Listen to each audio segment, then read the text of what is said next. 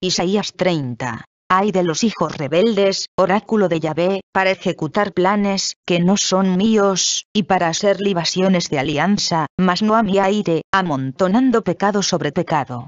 Los que bajan a Egipto sin consultar a mi boca, para buscar apoyo en la fuerza de Faraón y ampararse a la sombra de Egipto. La fuerza del Faraón se os convertirá en vergüenza, y el amparo de la sombra de Egipto, en confusión cuando estuvieron en Soán sus jefes, y cuando sus emisarios llegaron a Janés. Todos llevaron presentes a un pueblo que les será inútil, a un pueblo que no sirve de ayuda, ni de utilidad, sino de vergüenza y de oprobio. Oráculo sobre los animales del Negev por tierra de angustia y aridez, de leona y de león rugiente, de áspid y dragón volador, llevan a lomos de pollinos su riqueza, y sobre jiba de camellos sus tesoros hacia un pueblo que no les será útil, a Egipto, cuyo apoyo es güero y vano.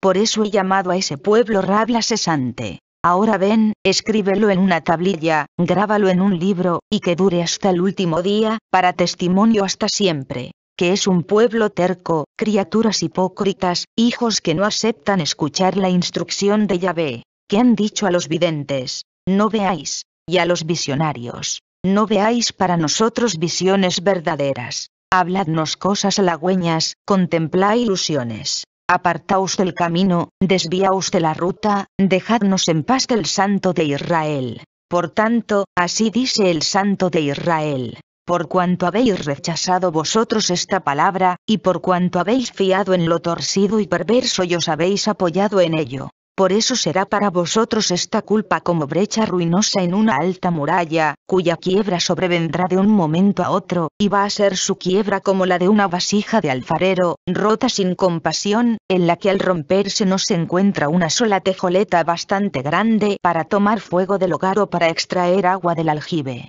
porque así dice el Señor Yahvé, el Santo de Israel. Por la conversión y calma seréis liberados, en el sosiego y seguridad estará vuestra fuerza pero no aceptasteis, sino que dijisteis, no, huiremos a caballo pues, bien, huid. Y sobre rápidos carros montaremos. Pues bien, rápidamente seréis perseguidos. Mil temblarán ante la amenaza de uno solo. Ante la amenaza de cinco huiréis, hasta que seáis dejados como mástil en la cúspide del monte y como gallardete sobre una colina. Sin embargo aguardará Yahvé para haceros gracia, y así se levantará para compadeceros, porque Dios de equidad es Yahvé. Dichosos todos los que en él esperan. Sí, pueblo de Sión que habitas en Jerusalén, no llorarás ya más. De cierto tendrá piedad de ti, cuando oiga tu clamor. En cuanto lo oyere, te responderá os dará el Señor pan de asedio y aguas de opresión, y después no será ya ocultado el que te enseña. Con tus ojos verás al que te enseña, y con tus oídos oirás detrás de ti estas palabras. Ese es el camino, id por él, ya sea a la derecha, ya a la izquierda. Declararás impuro el revestimiento de tus ídolos de plata y el ornato de tus imágenes fundidas en oro. Los rechazarás como paño inmundo, fuera de aquí. Les dirás, él dará lluvia a tu sementera con que hayas sembrado el suelo, y la tierra te producirá pan que será pingüe y sustancioso.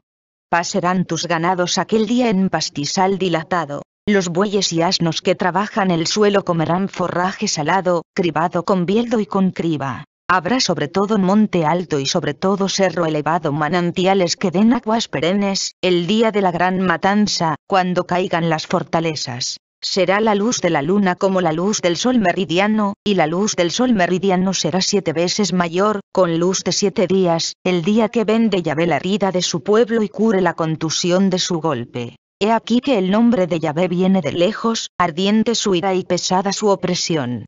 Sus labios llenos están de furor, su lengua es como fuego que devora, y su aliento como torrente desbordado que cubre hasta el cuello cribará a las naciones con criba nefasta, pondrá el bocado de sus bridas en la mandíbula de sus pueblos. Vosotros cantaréis como en la noche de santificar fiesta. Se os alegrará el corazón como el de quien va al son de flauta a entrar en el monte de Yahvé, a la peña de Israel. Hará oír Yahvé la majestad de su voz, y mostrará la descarga de su brazo con ira inflamada y llama de fuego devoradora, turbión, aguacero y granizo pues por la voz de Yahvé será hecho añicos Asur, con un bastón le golpeará. a cada pasada de la vara de castigo que Yahvé descargue sobre él, con aduces y con arpas, y con guerras de sacudir las manos guerreará contra él. Porque de antemano está preparado un tofet, también para el rey, un foso profundo y ancho. Hay paja y madera en abundancia.